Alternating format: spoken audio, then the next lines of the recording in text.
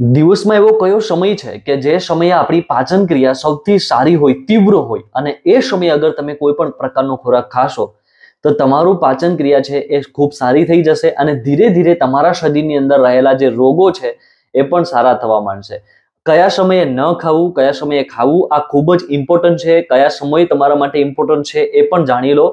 હું તમને આ વિડીયોમાં બધું જણાવીશ. પેજને, આ ચેનલને સબસ્ક્રાઇબ કરો અને વિડીયોને લાઈક કરો. સૌથી પહેલી વસ્તુ, તમે સવારમાં જ્યારે સૂર્યોદય થાય છે, સૂરજ સૂરજ દાદા છે, જ્યારે આપણા પૃથ્વી પર ઉગુ ઉગુ થતા હોય, ઉગવાની તૈયારીમાં હોય, આ સમય દરમિયાન આપણી પાચન ક્રિયા છે, ધીરે ધીરે ઓફ થતી હોય છે. જ્યારે એકદમ ઉગે ને એકદમ વ્યવસ્થિત થઈ જાય, મતલબ નોર્મલ સૂર્ય સૂર્યોદય થઈ જાય, એ સમયે આપણી પાચન ક્રિયા તીવ્ર હોય છે અને એ સમય બાદ આપણી પાચન ક્રિયા ધીરે ધીરે ધીરે મંદ પડતી જાય. એટલે જેમ બપોરનો સમય આવતો જાય, પાચન ક્રિયા ધીમે ધીમે નબળી પડતી જાય. બપોરના સમયે પાચન ક્રિયા એકદમ નબળા જેવી હોય, એ સમયે ખાઈ તો શકો, પણ ઓછું હળવું અને એ પ્રકારે તમારે ખાવું જોઈએ.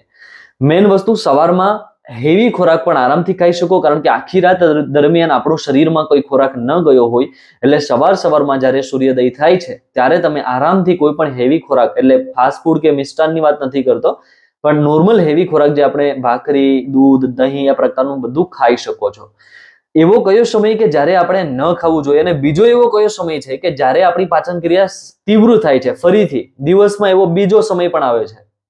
એક તો સવારનો છે, બપોરે મંદ હોય અને બીજો સમય છે જ્યારે આપણો સૂર્ય સૂર્યાસ્ત સૂર્યાસ્ત થતો હોય, જ્યારે સૂર્ય છે એ આથમતો હોય, એ સમય દરમિયાન આપણી પાચન ક્રિયા ફરીથી તીવ્ર થવા માંડે છે. અને જ્યારે સૂર્ય એકદમ આથમી જાય, એ પછી આપણી પાચન ક્રિયા એકદમ મંદ પડી જાય છે.